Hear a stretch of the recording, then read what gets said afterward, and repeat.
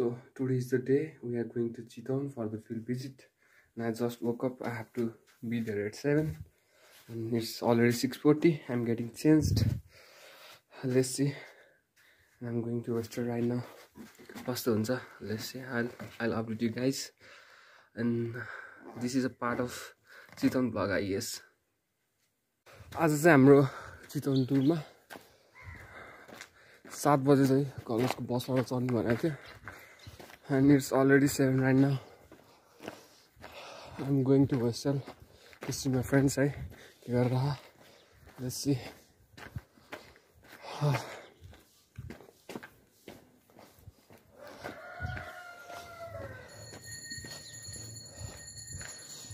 I, th I think that we are going to see the I think normal hospital. I think it's 300 bed hospital right? It's gonna be fun though. So चाहिँ सात बजे बस्न चढ्ने भने I think it will take five to six hours to reach there अनि अनि just एक दिन मात्रै हो one night stay hospital building construction management म्यानेजमेन्टको हामी केसिको स्टुडेन्ट जाँदैछौँ।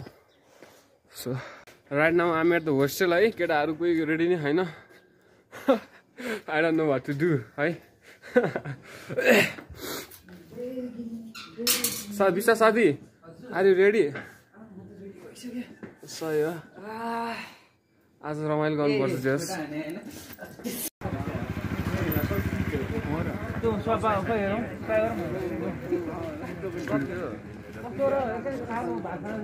Vlogger man. Yo man. Take my vlog man.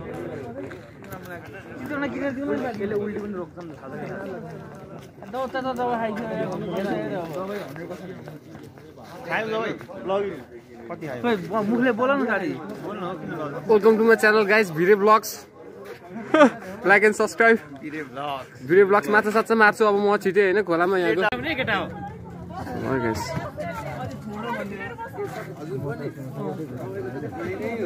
कुन साथी के छ खबर? साथी। चितवनमा आज ब्लग छ कि सानो?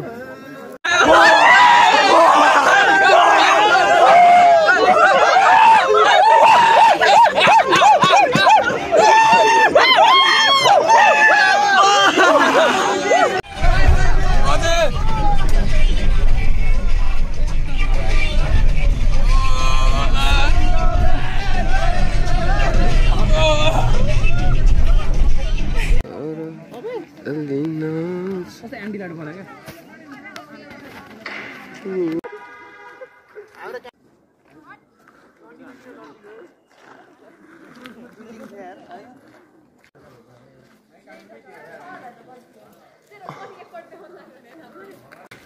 दिस इज चितवनको न्युटन्स हस्पिटल तिन सय बेड सय बेड आई मिन बेड भएको चाहिँ हस्पिटलमा आज हाम्रो फिल्ड भिजिट होइन। अनमोल म र हामी केसीको सबै स्टुडेन्ट आयो। धेरै कुराहरू सिक्यो बिल्डिङ चाहिँ यस्तो टाइपको छ भनेर देखाउँदै थिएँ। ओके लेट्स बी केयरफुल है बाटोमा नेल्सहरू जस्तो जस्तै छ। Safety first. Safety first is the motto बिल्डिङको बारेमा कोलुमहरूको साइज बिमहरू सेफ्टीहरूको कुरा बारेमा हल्का फुल्का नलेज भयो। अनि यहाँ जोइन गरे होइन त दुइटा? कोलुमलाई यसरी दुईचोटि गरेर गरेर बनाएको छ। Let's see the building okay this is this this this place is for lift है। यहाँ चाहिँ टोटलमा नौवटा यो बिल्डिङमा नौवटा लिफ्ट छ एउटा सेन्टरमा अनि चारवटा कुर्ना कर्नरमा लिफ्टहरू यस्तो खालको okay let's see the building okay that's the building and there are my friends expansion joint कतिवटा चाहिँ हो यो नौ यसमा यो चाहिँ छ इन्चको हुन्छ अब छ इन्चको चाहिँ किन भन्दाखेरि चाहिँ अब धेरै बिल्डिङ चाहिँ हिटहरू हुन्छ कहिले काहीँ त्यही भएर हुँदा चाहिँ अब एउटा बिल्डिङ अब नसोस् भन्दा चाहिँ एक्सपान्सन सिटहरू राख्छ त्यसमा चाहिँ हामी के गर्छ भन्दाखेरि एउटा प्लेटहरू माथि एउटा प्लेट राखिदिन्छौँ फिनिसिङ गर्ने स्टेजमा अनि त्यो तलबाट नै फिनिसिङ गर्ने स्टेजमा चाहिँ अब राखिदिन्छौँ अनि बिचमा चाहिँ हलो हलो नै हुन्छ त्यसलाई चाहिँ हामीले जोइन भन्छौँ थ्याङ्क यू हो। अनि त्यो ज्याकेटिङको कुरा भनिदेऊ त कुनै कुनै पिल्लरमा ज्याकेटिङ किन गरेर यस्तो हो पहिला सुरुमै हामीले स्ट्रक्चर बनाउँदाखेरि हामीले धेरै नै उगाइन्छ के? धेरै नै इस्टिमेटेड भन्दा धेरै लोड आयो भने हामीले त्यो जाकेट लानुपर्ने हुन्छ। सही एस्टिमेटिङ लिफ्ट कतिवटा आयो यहाँ लिफ्ट नौवटा लिफ्ट छ यसमा। नौवटा लिफ्ट छ यहाँ दुइटा अनि सबै कर्नरमा होला। जस्ट नौवटा लिफ्ट छ। यो यो चाहिँ यो बिल्डिङ चाहिँ पाँच सय पाँच पाँच सय पचास करोडको building construction of just construction of बिल्डिङलाई मात्रै पाँच सय पचास करोडको बिल्डिङको लागि यो बिल्डिङ घर बिल्डिङको चाहिँ बनाएको रहेछ। अनि अहिले चाहिँ अब कन्स्ट्रक्सन फेजको आधा फेज चाहिँ यो बिल्डिङको आधा आधा आधा कन्स्ट्रक्सन प्रोसेस चाहिँ सकिसकेको छ अब ह्यान्डओभर गर। अँ पाँच सय पचास पाँच सय पचास करोडको लगानीको आई मिन उसमा बिल्डिङमा अहिले चाहिँ एक सय दस करोडको मात्र भइरहेछ काम। हस्पिटलको नाम चाहिँ न्युटन हो बिकज सर आइजक न्युटनले चाहिँ यहीँ बस्दा चाहिँ स्याउले लगाएर मरेको। क्यान्सर लाएर भन न। क्यान्सर लाएर स्याउले टाउकोमा लायो टाउको क्यान्सर भयो।